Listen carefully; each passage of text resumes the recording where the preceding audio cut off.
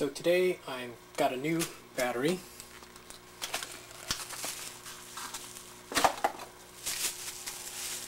It's got these bullet plugs on them and I'm going to replace those with Traxxas um, connectors which I use on just about everything. So what we'll need is some flux,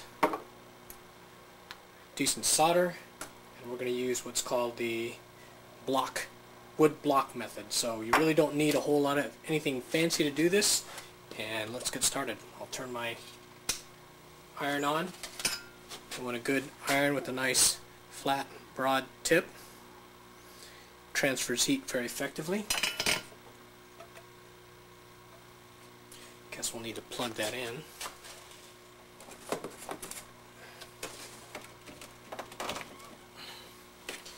And as we're opening everything up, that thing will heat up.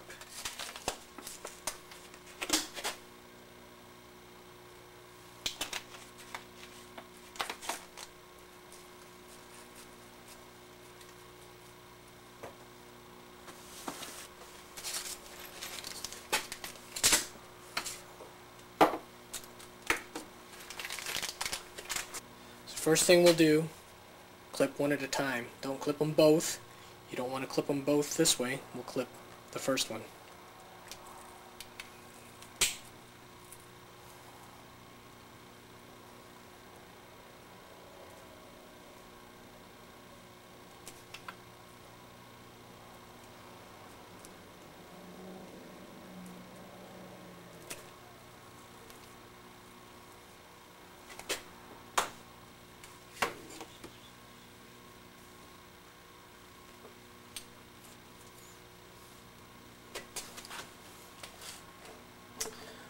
Zoom in a little bit here. A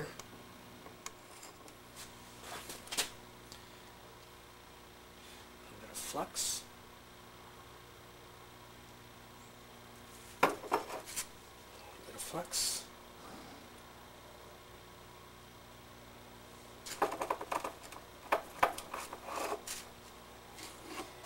Again, we'll want these to go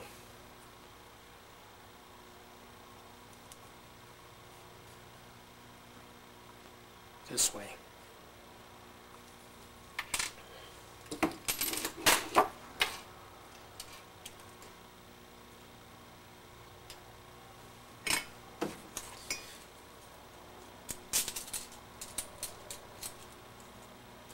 So I'm going to pre-tin